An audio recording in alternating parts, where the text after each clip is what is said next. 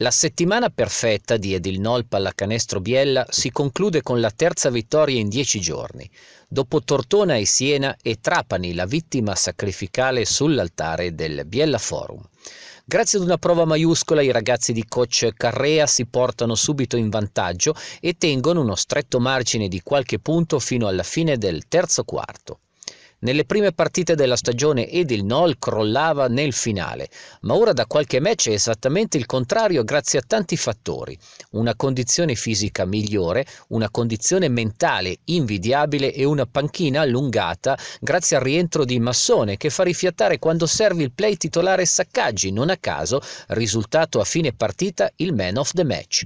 Ecco che negli ultimi dieci minuti Biella quindi prende il largo e poi con una solida difesa si mantiene in vantaggio. Il giorno dopo, ecco quindi un'atmosfera rilassata e felice alla cena degli auguri con gli sponsor e i media partner. Per una stagione partita con qualche difficoltà, ma che ora vede Edil Noli in terza piazza pari merito in piena zona playoff nel campionato di A2. Mentre alla cena degli auguri si è palesata la presenza di un nuovo e solido assetto societario e manifestata l'amarezza per la poca attenzione delle istituzioni verso il movimento cestistico, il campionato vedrà la prossima partita al forum per il 30 dicembre contro Cassino.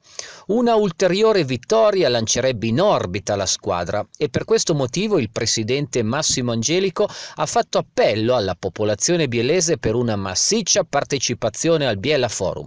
Il caldo pubblico dei tifosi è sempre il sesto uomo in campo. Ci, ci fa molto piacere vedervi tutti, tutti voi e spero anche di vedervi a Palazzetto le domeniche. Voglio fare solo gli auguri di buon Natale da parte da, da tutta la squadra e da tutta la società. Eh, spero che sia un anno ancora più bello di questo.